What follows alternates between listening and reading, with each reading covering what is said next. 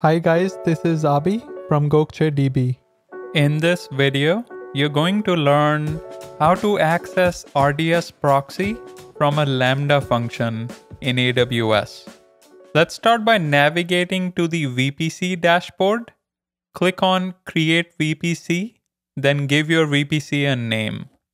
Select a CIDR block and tenancy. I'm going to select 2 for availability zones and public subnets, and 0 for private subnets, NAT gateway, and VPC endpoint. Hit Create VPC, then wait for your VPC workflow to complete. Confirm that you see two public subnets, one public route table, and one internet gateway. Click on Security Groups, then hit Create. Give your security group a name, description, select the project VPC, then hit Create. Edit the inbound rules and add a rule for all traffic coming from within this security group, then hit Save. Next, navigate to the RDS service, then click on Create Database. Here, I'm going to select Standard Create for MySQL and Free Tier for Template. Enter an instance identifier, master username, master password, then select an instance class. For storage, I'm going to select 20 gigs and disable auto scaling. For VPC, I'm going to select Project VPC and the security group that we just created. I'm going to select password authentication and disable backups and encryption. Hit Create Database, then give it a few minutes to launch. Next, let's navigate to the Lambda service, then hit Create Function. Give your function a name, then select Python as your runtime. Expand the Advanced Settings section and enable VPC.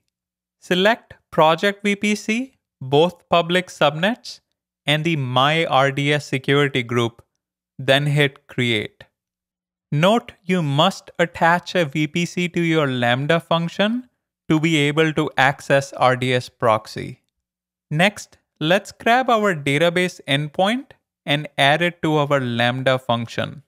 I'm also going to add in my username and password, then save the Lambda function and its dependencies in a zip file and upload it to the Lambda console. In my Lambda function, I'm connecting to my database, then executing a select query, then printing the results on the console. Click on the test button, give your test event a name, then hit save. Hit the test button again to execute your Lambda function. As you can see, the output of the select query was successfully printed on the console. Let's head back to the RDS dashboard, then click on Proxies. Hit the Create Proxy button, then give it a name.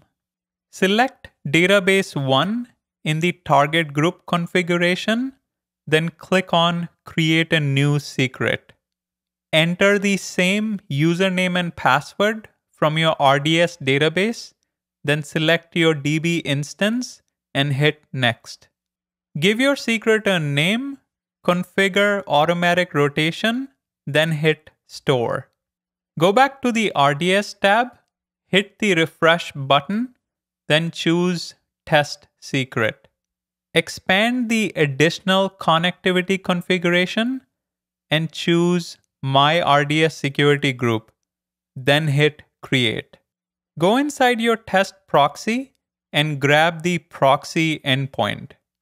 Go back to your Lambda function and replace the RDS endpoint with your proxy endpoint.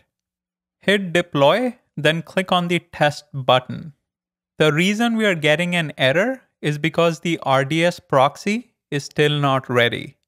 Give it a few minutes and when the proxy is ready, hit the test button again. As you can see, now we're seeing the expected output. Note the best practice is to get the credentials from the secrets manager instead of hard coding it in your Lambda function.